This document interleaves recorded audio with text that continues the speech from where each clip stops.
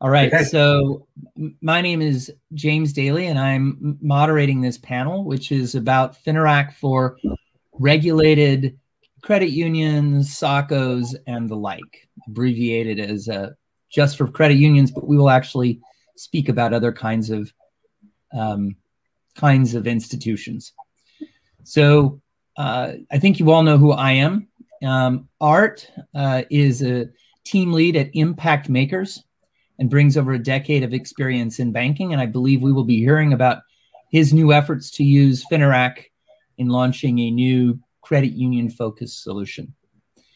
Um, Luisa uh, has been um, vice president of market entry at Quailap, where uh, she's been in charge of working on just in, incredible uh, projects. Um, and she's been involved in the MIFOS initiative for a, a long time. She has a background in, in uh, law uh, and uh, has been involved in Latin American startups. Uh, and, and, Luisa, you can go ahead and introduce yourself better than that. I, I was just trying to paraphrase what, what was in this intro here. Um, thank you. Thank you. and Rupesh is an IT consultant with broad uh, technical background um, and sits on some company boards and IT departments. Uh, and I think we'll be hearing about some of his efforts in applying Fineract to the uh, they're they're called housing.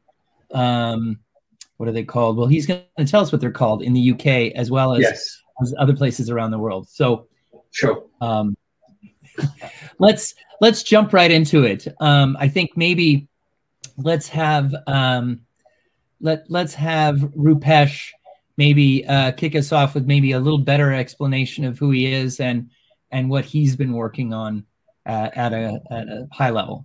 Okay, good evening, everyone. Uh, my name is Rupesh Raikundalia. I'm based here in the United Kingdom. Um, I've been involved with Fineract for about three or four years, uh, mainly around the MIFOS um, solution. I ran um, card programs for various banks. I've done uh, been around the insurance industry for, for a very long time in, in the capacity of an IT consultant. Um, more recently, I've been looking at using Fineract and MIFOS within the regulated credit union space in the United Kingdom. And also, an opportunity came up my way about three months ago to use uh, in an indigenous national bank up in British Columbia um, which has just gone live about uh, three or three or four weeks ago. Um, so that's my background. That's terrific. Thank you. Um, Luisa, maybe do a, a better uh, background of why you're here and, and your intros into credit unions. Thank you. Um, so as well, first, uh, hello everyone. Thank you so much for um, Apache FINERAC for having us here. Um, in the name of Quailap and myself, we are super excited to participate again at ApacheCon. And the reason why I'm here, I suppose, um, is because uh, first and foremost, I have a background in law. I am a lawyer, and um, the first um, I mean, the first time that I worked with regulators in um, the financial institutions um, industry actually was with Javier Borkenztain, with Borki. Um, and we um, founded a startup in Uruguay, um, and we became actually the first startup in Latin America to have a, a, a central bank license. Um, and that is very important. And I think that that um, has led me to then work with multiple financial cooperatives all around the world, not only Latin America, but also in Southeast Asia and in Africa. Um, and it's been great to see how um, Fineract and the other efforts that, that as a community we are building, it can also work for um, regulated institutions, which every day are more and more. Terrific, terrific. And Arthur, I believe you're probably the newest person to this uh, MIFOS world. Um, tell us a little bit about your story. Absolutely. Um, yeah, my name is Art Muthiora. I am sitting in Richmond, Virginia, in the States. Um, I've got a background of about 13 years working in sort of like the intersection of uh, financial services and technology. Um, I worked at a bank that was the first uh, uh, large bank, excuse me, in the United States to go 100% into the cloud uh, and so that was part of, of my journey. And um, in in that effort, we we were sort of partnering with regulators because the regulatory landscape hadn't sort of like matured enough to to be prepared for launching into the cloud.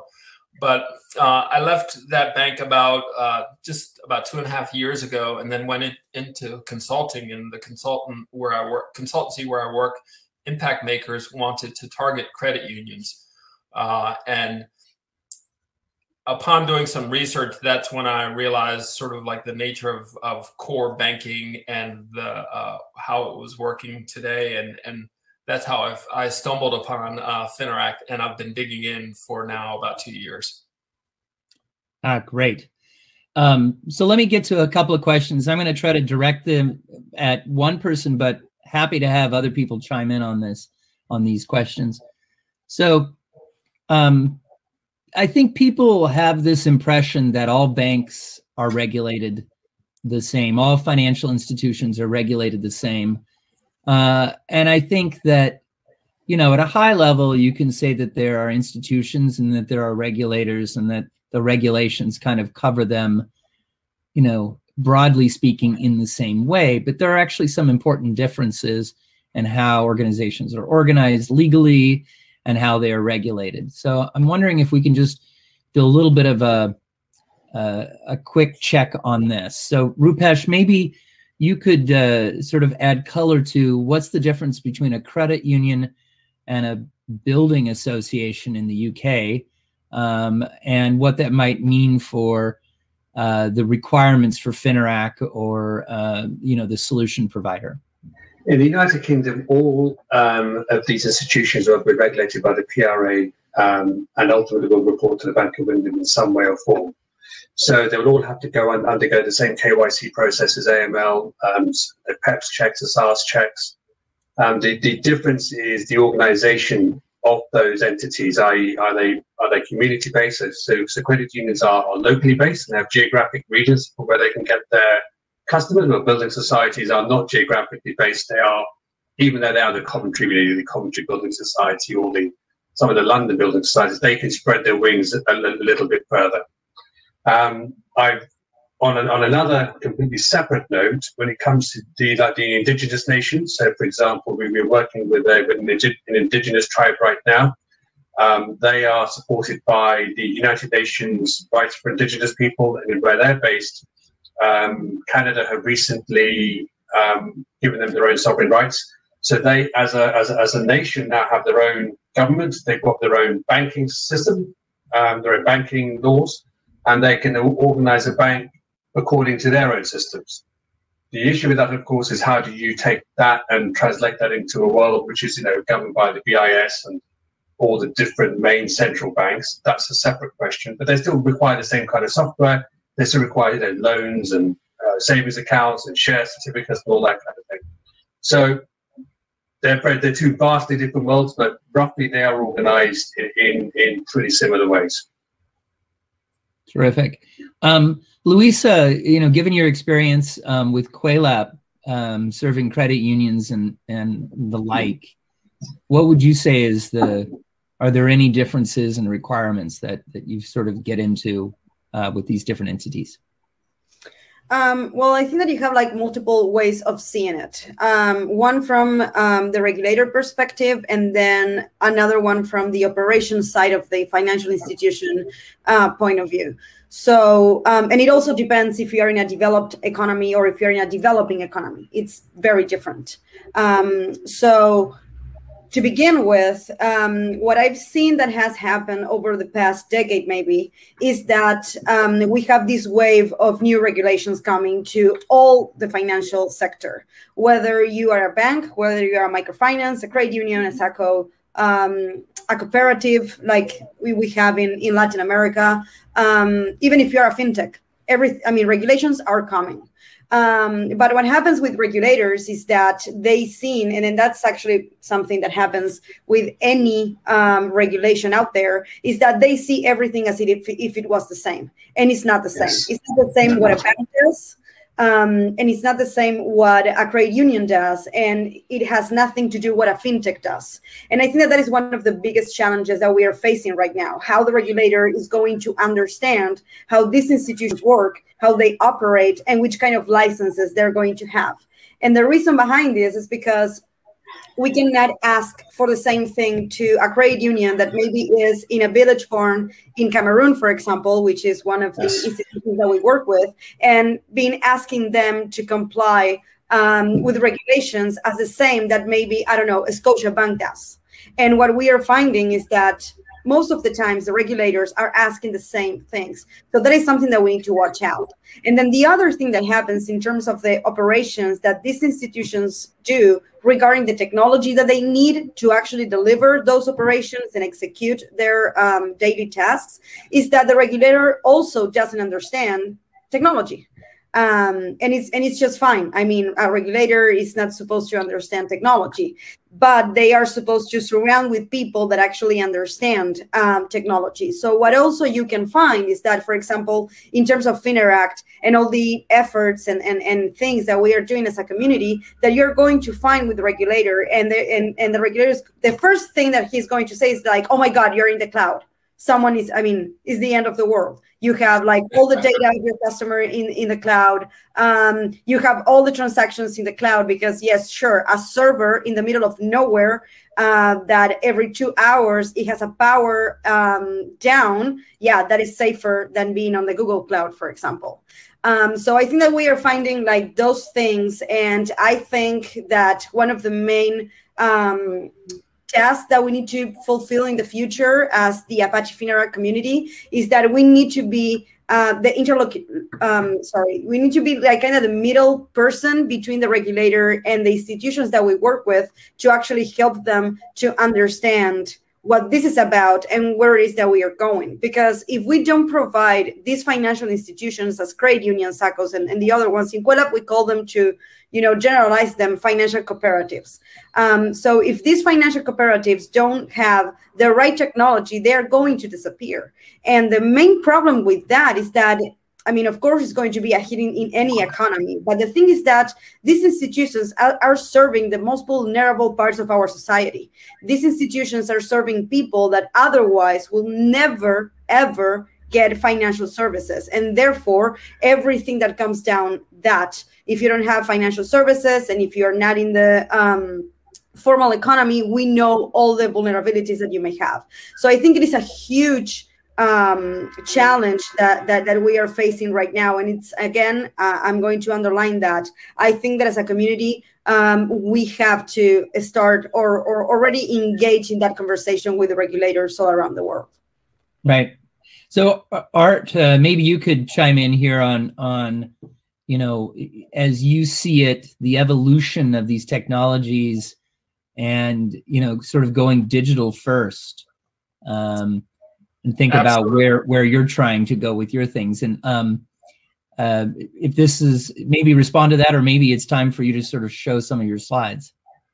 Uh yeah maybe i can maybe a little bit of both. Uh my uh basically here in the states we credit unions are are facing pressure like uh, from a sort of a market analysis standpoint. Number one let me sort of like level up in terms of how credit unions are are regulated here in the states uh, there's uh, there's credit unions and then there's banks and credit unions primarily are uh, actually i'm going to share my slides. You're right. This is a, a good opportunity. I figured we were I, I, was trying to tease this up so we could go right into your slides. So hopefully yeah, that, that good. worked pretty well.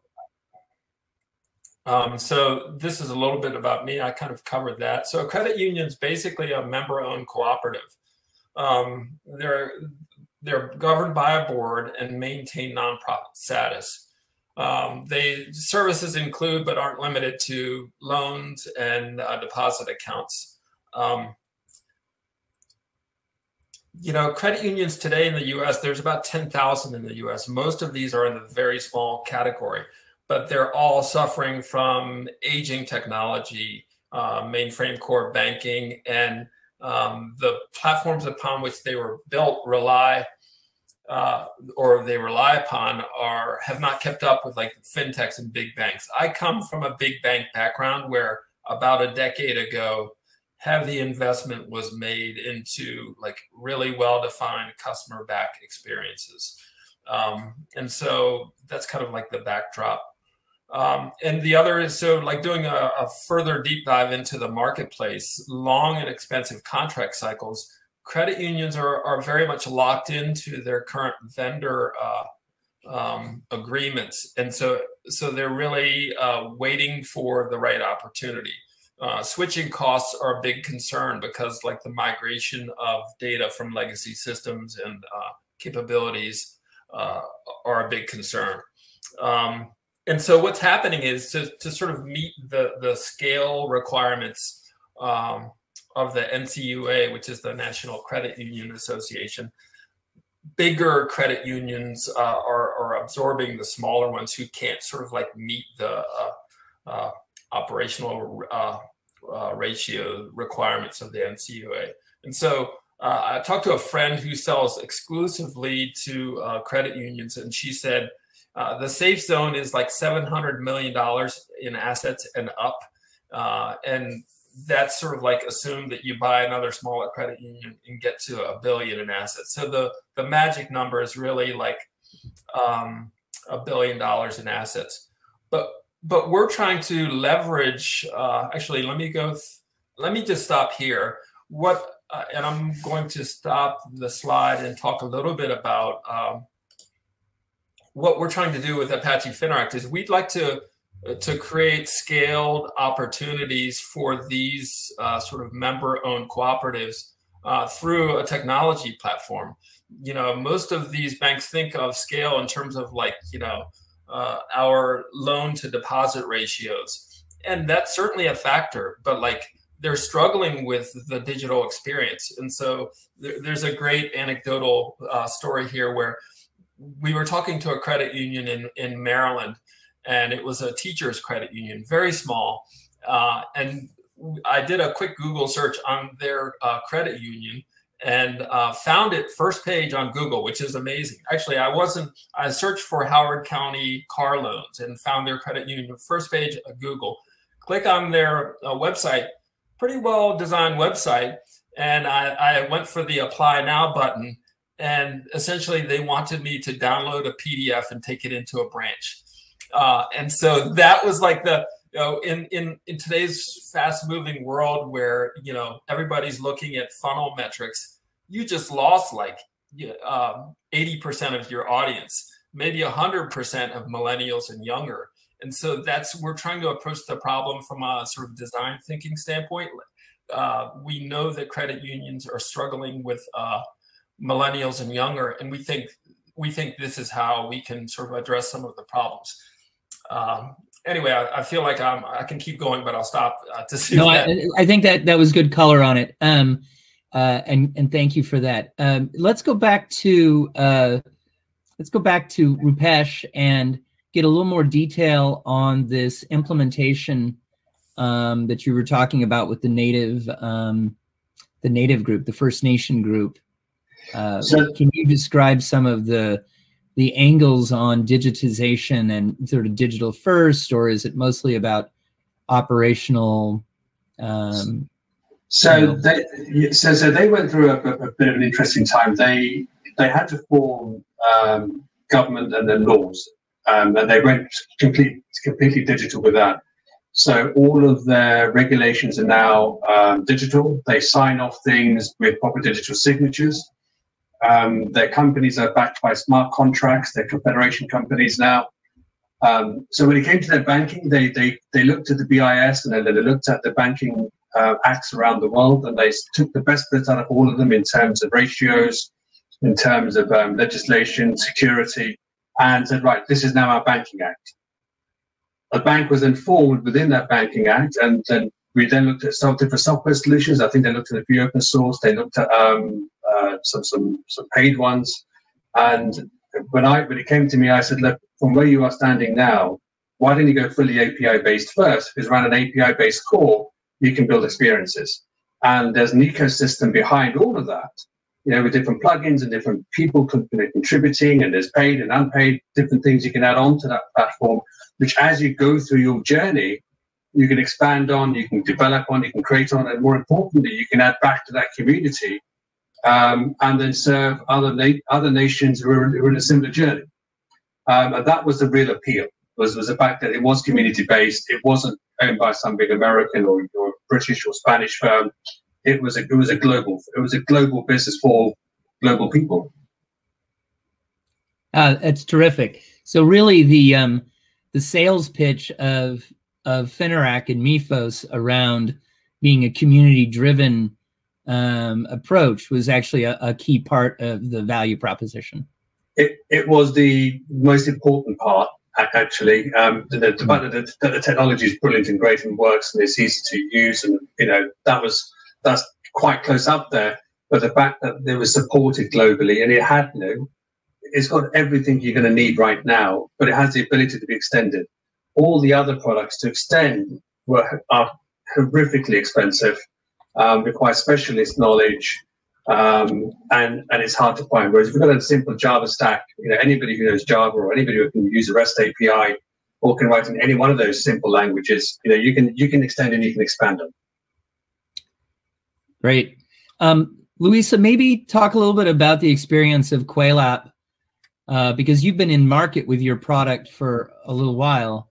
What are some of the challenges sort of further down the road um, perhaps, and and maybe the the way that you see the market evolving?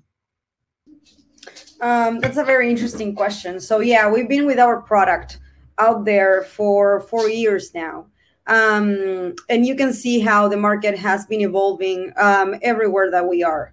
Um, one of the things, and, and actually Rupesh mentioned, um, is that, and, and this is something that probably all of us here know, but maybe some of the viewers don't, is that um, with this type of financial institutions, you have to go through a process. So it's not that you show up there and you say, oh, I have this amazing product. It's going to give you all these benefits and the credit union. It's going to be oh wow yeah i really want that. It's not the case. Um, most of the times um, these institutions are very small um, they don't have IT departments, so they don't have anyone that actually understands technology. Uh, most of the times, they don't have legal departments, so they don't know actually how the regulations work. Um, and at some point, they know that they need to make a change, and they know um, that they need to start using digital um, tools, but they don't actually know what it is to go through a digital transformation process. And going through a digital transformation process doesn't mean that now you're going to use a better um, um, mobile device or that you're going to use a better software. It actually means that you will need to change uh, the fabrics and foundations of your business. And that is the first thing that these institutions um, know, and that you actually need to empathize with them and, and try to make them understand. It's not only about the technology. Once you bring a platform like the one um, that we have developed, or any other product that you guys may be developing and, and delivering to your customers, um, it's just not throwing that out there to use that product, uh, they will need to change their business. They will need to change their operations. They will need to change um, the channels of communication with the customers. Probably they, they will need to change their own products um, in terms of the loans, how they disperse them, how they distribute all of that. Um, so one is that is one of the first things that we need to understand. Before this being a digital transformation, it has to be a cultural transformation. Um, and that is the first step once you go over that, then we can start talking about technology and what is the best thing um, that that it will be um, the best thing that you can deliver for them. And also, again, it's not the same working in a developed economy than working in the in the developing world. And for many things, um, one of the main things is infrastructure. Not everywhere out there you have a good connection to the internet. Not everywhere you have a good connection to electricity. Actually, um, many times you find that these institutions are serving people in rural areas where you don't even have uh, highways to get there. Um, and you need to be very, very empathetic into which will be the type of um, technology that you will be delivering to them and how that is going to improve um, their business and at the end of the day how they are going to impact the people that they serve because we have to remember that this type of institutions, credit unions, financial co-ops, they have very, very strong missions, uh, social missions. So it's just not about making money or, or as Javier um, taught me a while ago, just buying cheap money and selling it back very expensive.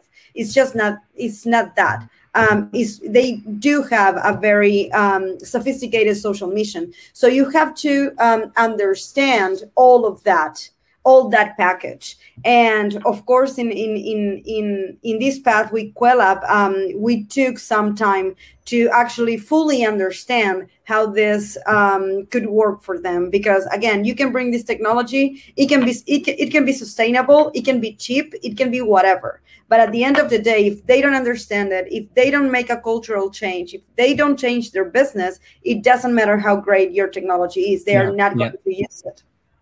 Yeah, I, I, think change management, particularly in existing organizations, has got to be mo- one of the most incredibly complex things that we do when we try to implement new technologies. I mean, it's one thing to sort of automate what they're already doing, right? But if they really want to grow and be more relevant to their markets, they need to they need to change the products, approaches, channels, etc. Um, so those are some very good points, and I can see that that's where you know, Art is going, yep, I can see that challenge is going to come. Yeah. And I think Rupesh is saying, yeah, we, we're there. Um, I, the, I want to ask about, uh, you know, when we think about those process changes and that role of technology in in doing that. I mean, maybe Rupesh, you could reflect on this a bit and say, you know, you've been involved in the IT sector for a long time. Like, what's the what's the feedback loop that you that you hope to see when you go out to market with these kinds of products and and offers? Well, the, well, the first thing that I've um, looked at is the is the actual member's experience. If you look at a member of a credit union or a member of a bank or a member of any financial institution, um, I always start from there because in some cases you've got uh, you know the demographic that would have that don't even own smartphones. For example, in some parts of the UK, you have they do they own them, but they probably don't know how to use them as as well. You've then got a demographic of people who've been doing a certain thing for so long now that it's in, that, that it's ingrained. So they to use cash, for example. They'll go to credit union, they'll get cash out, and they'll do their business with them cash. When you go into any institution and you, and you talk about a technology change or a change, it's not just about their organization. It's also it's also about how you communicate that with their customers and taking their customers along for the ride and getting the customers buy-in because the last thing you want to do is to so say, okay, fine, we're going to put this fantastic system in. It does all these amazing things, but then the customers go, well, I don't even know where to start. Do I need to do I need to download an app? Do I, you know, what do I use and how do I use it? Um, so I'm always conscious from the customer experiences point of view that you start there, and then you kind of work backwards into the change into the into the organization, the agents and the, the management, and then you know, like Louisa pointed out, you know, all the regulatory and legal and compliance changes that also have to be implemented because it all kind of is a bit of a circular thing. Right. Okay. So I, I think that puts a good pin on that. And we could probably spend a whole session yes. talking about user centric design and how you put the, the customer at the center of all of your efforts.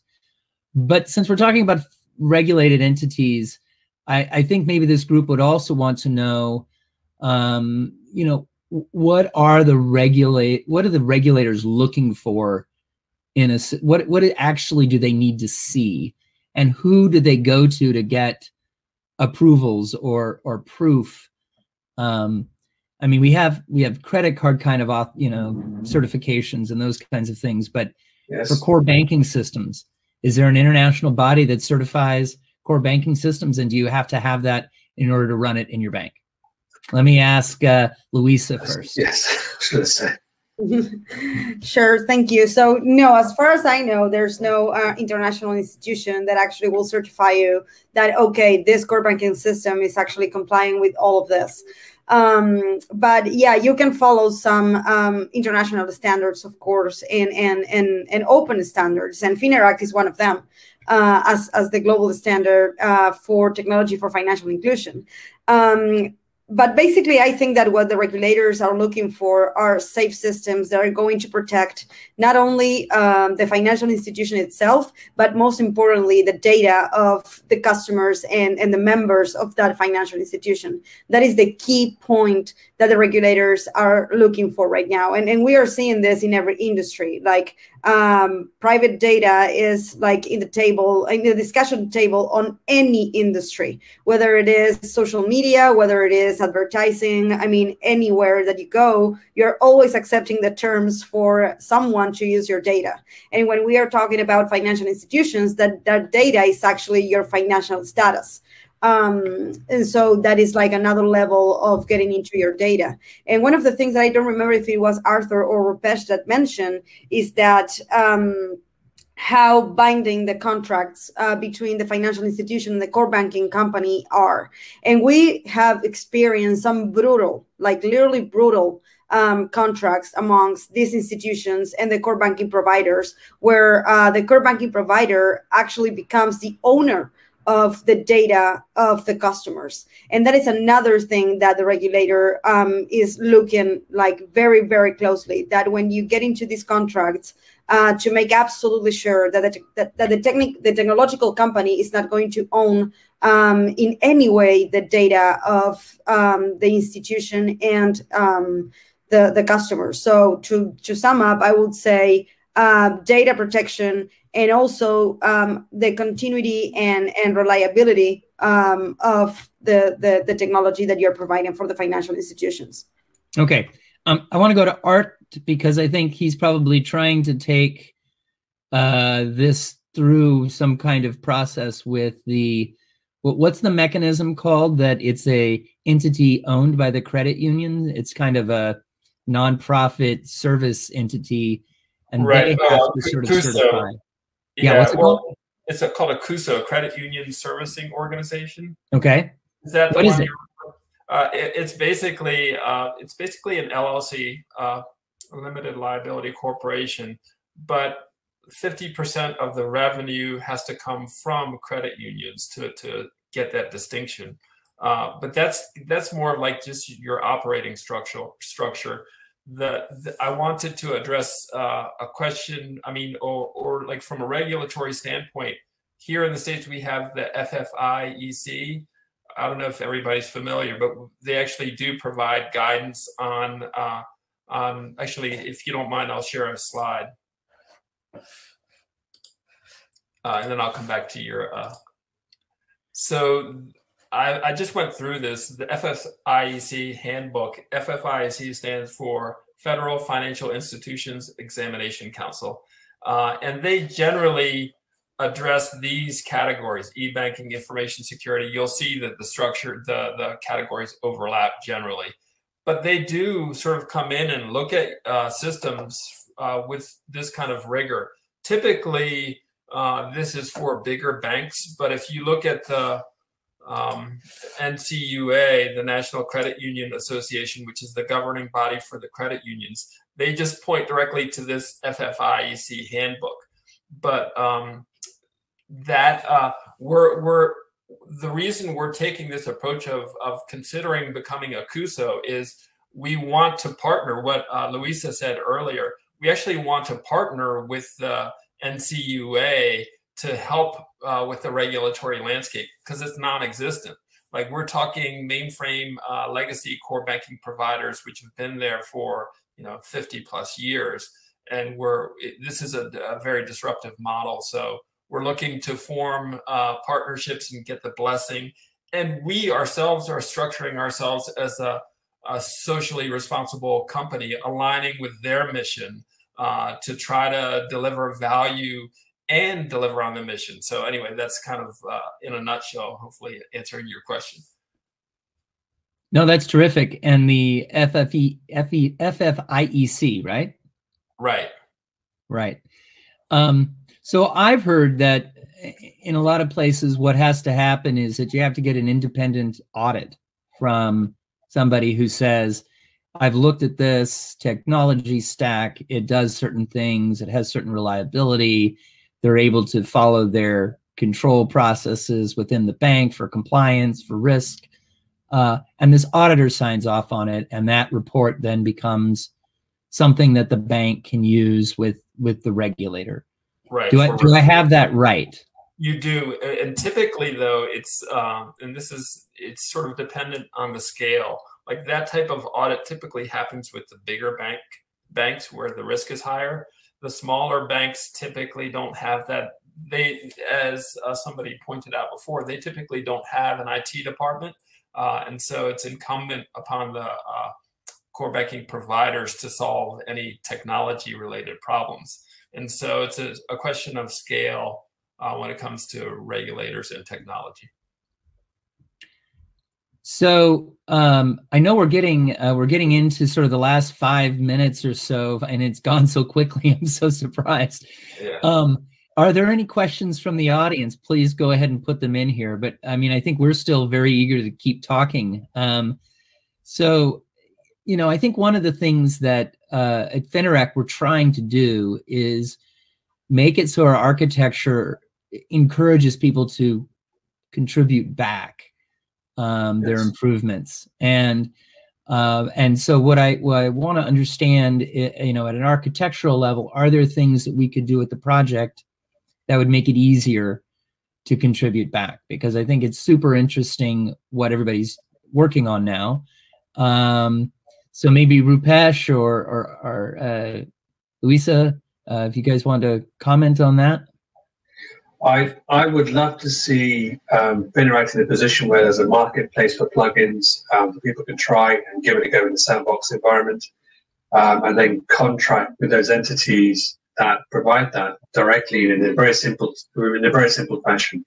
I know that you know it's a bit of a, a, a utopian view of of, um, of, of systems, but you know it'd be fabulous to say you know here's five or ten different front ends for your uh, mobile for your mobile access client. Here's two or three different front you know back ends to, to see your data. Here's a reporting pack. Um, people can kind of pick and choose and configure the bits that they want. Um, and then with the aid of some some some serious consultancies, they can then use use that consultant the consultancy to say, look, out of all these plugins you've got, these are this is kind of what matches your where you are now. So for me, that, that would be the, the um, utopian um, end goal. Luisa? Well, I think that I'm going with Rupesh there. Um, I think that having a sandbox for other innovators to try to see how, I mean, the capabilities of Fineract, it will be great. But again, I actually don't have a tech um, background, so I don't want to get that much deeper into architecture mode. Okay, very good, very good. Um, eh, Art, you're just at the beginning, but um, you know maybe uh, you could sort of identify in your journey thus far what's been the challenges in getting on board with Fineract or Fineract CN. Yeah, I think we we struggled, and and uh, Raman's on this call, who's like our chief architect. He might chime in as well we struggled with sort of signal versus noise in terms of uh, documentation and uh, valuable information. And so we poured over quite a bit uh, before we were able to hone in on uh, what's really there and what's really valuable and where we should focus our energies. Um, and, and I think that was maybe the biggest challenge. I think we've made progress, but it was kind of a pendulum process where we went back and forth and then narrowed in uh, on what we believe to be true. Right, right. Okay, interesting. We want to probably follow up on that with your team a bit more. I think our onboarding processes and the documentation we have on our websites, and there's various places you go to for information and what's authoritative, what's deprecated, those kind of things. I think the community is aware of some of those issues, but I, I definitely take it um, take it as a, a area of improvement. So Javier has a question. How do you manage the complexities on credit union, um, the governance of credit unions? How do you convince a board uh, and a management team to move to a new platform? What's that? What's that sales pitch and uh, what's that thing? Now, uh, boy, we got people at different parts of this. So I kind of want to start with Art with his brand new. He's going out to market now. How does he think this is going to go? Yeah, I I feel like I so I have a, a really close friend. She's been selling to credit unions for a long time. She sells web marketing and sort of like the funnel uh, analytics. How do you get people? How do you turn up the volume on loan applications? And that's kind of the unique problem that she tries to solve. And she's talked about three personas: the chief marketing officer, the COO, and the CEO. And it depends on culture. She says basically the culture of the organization sort of speaks to whether people are yeah they're they're just hanging on for retirement or they they know they have to innovate. Uh, and and, and uh, that's the reality. So it may sound like uh, brutal, but like that's how that that's how she figures out where where to spend her energy. Um, I think Luisa talked earlier about like working with really small organizations they don't even understand technology. So they they sort of like they rely solely upon their current provider. Uh, and so it's like maybe you target uh, organizations that are at the right scale who uh, it's kind of like they're they're they're they're the aggregator themselves. Like they know they're going to right here in richmond virginia credit union just purchased um, a chesterfield credit union. And the same thing you know the big fish came and gobbled the little fish uh, and they achieved some scale by just getting uh, getting loans on the books and deposits. But the the big fish needs the technology. That that acquisition may keep them afloat for a year or two, but they still need the leverage that the fintechs and the big banks have. Uh, and so, anyway, hope, hopefully, Javier, that's uh, that addresses your question. Yeah, no, that's great. Um, Rupesh, why don't you comment on this as well, since it sounds like you just went through this fairly recently? Um, for me, it's more about I always go back to customer experience as, as my as my standpoint and the experience of the agents, and and say where, where are they now in in their journey? Where would they like to go? And then and that's the gap. You know, to, what can we do to bridge that gap? And nine times out of ten, you'd say like you know, a more a more open platform, a more um, agile platform, a more resilient platform in most cases. Um, is usually a, a, a, very good solution. And then you kind of work backwards in, in, in a consultative fashion from, from there. And that's how I approach it. So I don't really need to sell it. I, I kind of get them to start sell themselves. And I, I can see you're very adept at that. Okay. Um, Luisa, I'd like to have you maybe comment on what's your funnel like, if you don't mind, if you can share that information. Do you you go out to a hundred different credit unions? Do you go to conferences? Do you pitch to thousands of people and hope that you're going to get one hit, or like how's your targeting? What's that effort like? Well, I think it is a mixture of everything. Um, and again, it's it's. I think that uh, the financial cooperative movement all around the world is kind of the same, and I think that that's why um, Javier is asking this question. So I think that um, in terms of your conversion uh, funnel, it depends a lot on what you are focusing on, the kind of financial institution, where they are, who are they serving, which are their products. Uh, but basically, yeah, the first thing that you need is to understand the market. I think that is like the first thing that you need to do. You need to do a lot of research, but like a lot of research, because this, at least from my experience, this involves a lot of um, culture things, a lot of psychological things. It's, it's actually at the end of the day um, to try to build a lot of emotional uh, intelligence around these financial institutions. Mm-hmm. Um, I actually have a teammate at Coelab that says that I have a PhD in cooperative psychology. Um, but I think that is like the first step. You need to know your market and you need to know how this segment works. And then the second thing that you need to do is yes, exactly, pitch to a thousand people, and maybe you can get a meeting with one of them. Um, and when you get that meeting, probably you're going to have only one opportunity to convince them.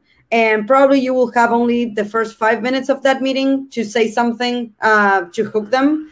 Um, and that's when the real dance starts. And in my experience, what happens is that you have probably three different stages or even three gaps amongst the, these organizations.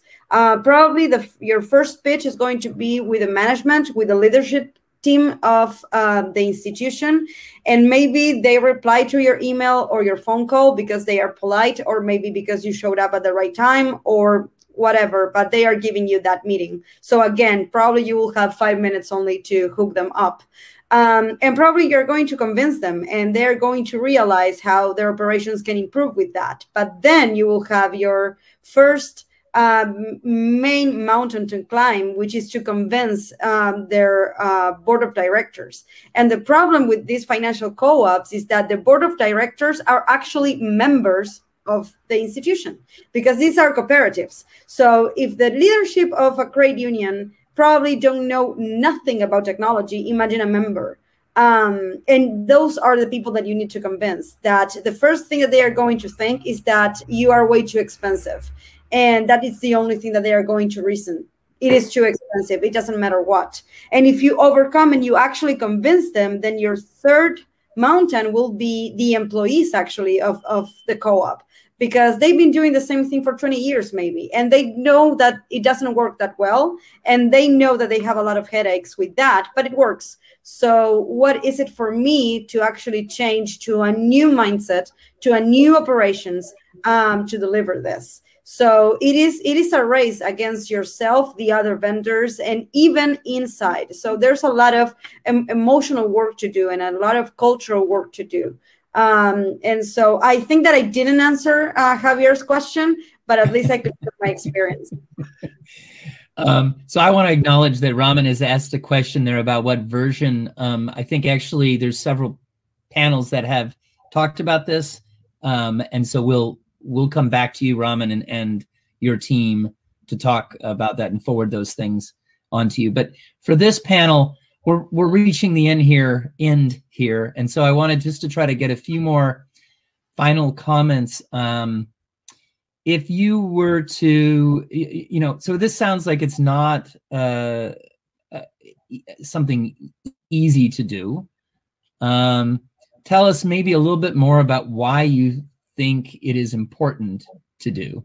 And what your each of you would like to have you sort of reflect on why is this important to you?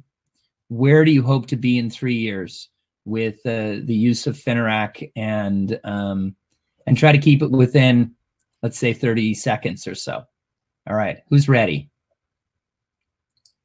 All right i'm just going to call on art. Go ahead art. All right i'm ready. Uh, yeah i'm really interested uh, a friend of mine uh, runs a nonprofit up in Maryland. It's equity. It's called Equity for HC.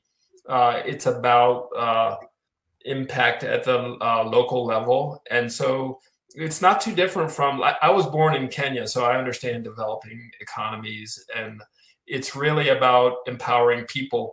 That's what motivates me, and I love the fact that I can take something that I used uh, with the big banks and actually bring it down to a grassroots level. Uh, I love the challenge. Awesome.